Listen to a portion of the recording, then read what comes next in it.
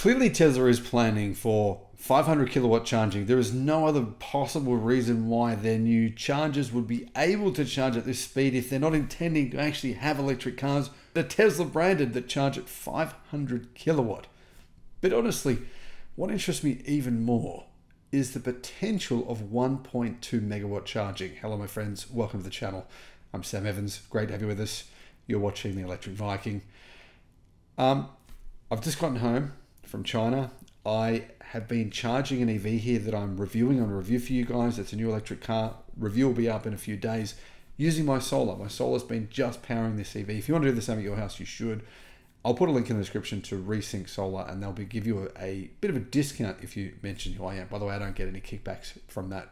Tesla have revealed their new V4 superchargers, and these chargers can charge at 500 kilowatt DC charging. Currently, only the Tesla Cybertruck is capable of charging at anything above 250 kilowatt. The Cybertruck can charge it up to 400 kilowatt using chargers in Europe. Hasn't been shown to do that in America, but for some reason it will in it will in Europe. 400 kilowatt charging. So in theory, if Tesla was to take the architecture in the Cybertruck and use that in other EVs in the future, which I imagine it probably will, you know, 48 volt, not that that's relevant, but anyway, if Tesla was to use that, then you could potentially charge new Tesla electric cars at 400 kilowatt, but that's not 500, is it? I mean, not even the Cybertruck charges at 500 kilowatt. So why are Tesla launching new V4 superchargers? Well, I think that they do intend to reveal new cars, right, that can charge at 400 kilowatt. It just makes too much sense. So 500 kilowatt would mean you could charge your car in around 10 minutes. How do we know it's around 10 minutes? Because Zeekr can already do this with their EVs in China, and it's at 10.5 minutes where they charge at about this speed. It's a peak speed of about 560 kilowatt, and then of course it comes back down. But they can charge it around 10.5 minutes from 10 to 80 percent that's the future I think we're going to see for Tesla as well. I think Tesla knows what is up to. It knows what some of these other Chinese automakers are doing. And it's like, well, okay, we need to do the same thing. It could be a year or two off. I don't know. But I see the new Tesla Model Y, not this year, but potentially the following year. New cars coming from Tesla with 800 volt architectures and the ability to charge 500 kilowatt, which is just game changing. It's insane you won't be able to say it's too slow. I can't wait for charging speeds. That would be just be stupid if you can if it's only 10 minutes to charge your car. However, to me what's even more important than this is getting trucks because you know diesel semis and trucks they cause so much of the emissions we we breathe. A huge percentage of emissions on the road comes from freight, from hauling. So the fact that Tesla is unveiling these new superchargers that can also charge trucks and big buses and things like that at a 1.2 megawatt is probably more game changing than 500 kilowatt EV chargers. 1.2 megawatt is the future, and it means that you have to charge trucks in probably around 30 to 40 minutes. That's really fast. But if you only wanted to charge, say, you know, 20 to 80%, you might be able to do that in around 20 minutes with that kind of charging, possibly even less. I mean, that's crazy. That means that really diesel trucks are dead. I mean, why on earth would you want one?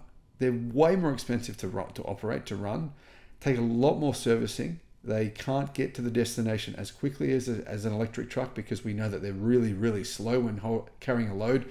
I've been doing a lot of driving in, in EVs lately, going to the Sydney EV show, and there's been situations where there's really dangerous situations where you see these semis going up hills. You come around a, you come around a corner on a freeway. Everyone else is doing 120 kilometers an hour, or you know maybe 70, 80 miles an hour. There's a truck doing 15 miles an hour. It's so dangerous. So that that danger will be basically nearly eliminated.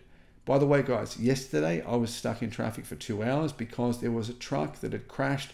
Uh, in fact, two trucks had crashed into each other I don't know exactly what happened, but I honestly think electric trucks will be much safer. They have better torque vectoring and they have weight much lower rather than having a, a, big diesel, massive diesel engine right up high in that engine bay. You can spread that weight out low at the base of the vehicle, much safer. That center of gravity is much lower.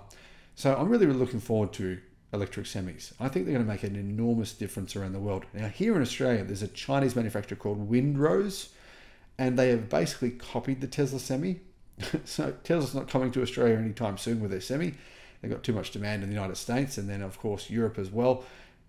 But Chinese Chinese truck makers are. And this new Windrose has around 400 miles, apparently more than 400 miles of range. So it's got enough range. They have tens of thousands of orders.